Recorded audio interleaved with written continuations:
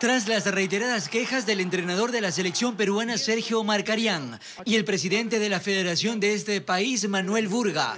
La prensa internacional recogió las últimas declaraciones del uruguayo Marcarián acerca de que la FIFA debe intervenir en el fútbol sudamericano y pidió que se transparente el manejo del arbitraje.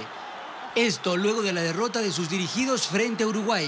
Yo voy a hacer lo posible para que este árbitro no vaya al Mundial. Le mando un mensaje a Eugenio. Eugenio, querido, pórtate bien. Le mando un mensaje al doctor Alarcón. Alarcón, querido, pórtate bien. Se refiere a su compatriota, el presidente de la Confederación Sudamericana de Fútbol, Eugenio Figueredo, y al presidente de la Comisión de Arbitraje, Carlos Alarcón. Añadió que la culpa no es solo de los árbitros, sino de quienes los designan. No, no hay que tener vergüenza de decir que el árbitro fue decisivo. No tengo vergüenza de decirlo. No tengo vergüenza. Fue decisivo. El presidente de la Federación Peruana, Manuel Burga, también arremetió contra los jueces.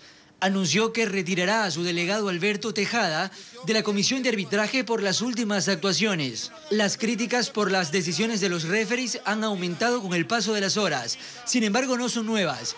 El tricolor Antonio Valencia, antes del partido frente a Colombia, también se había referido sobre el arbitraje. Ya sabemos lo, que pasa con Ecuador, siempre cuando hay eliminatoria, siempre lo están sacando amarilla, siempre lo están expulsando y bueno, creo que ya estamos acostumbrados. El fútbol sudamericano atraviesa una de las peores crisis arbitrales de su historia.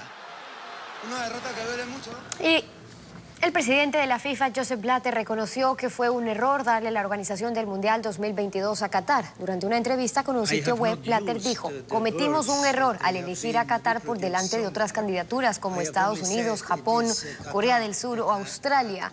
Según Blatter, Qatar registra altas temperaturas en junio y julio, lo que obligaría a postergar el Mundial para finales del 2022, afectando así al calendario del fútbol europeo. Nos equivocamos al creer que podíamos jugar en verano porque en esa estación no se puede jugar allí. Así lo admitió el máximo representante de la FIFA. Y, por cierto, fue en Qatar donde murió el Chucho Benítez precisamente después de jugar un partido a finales de julio.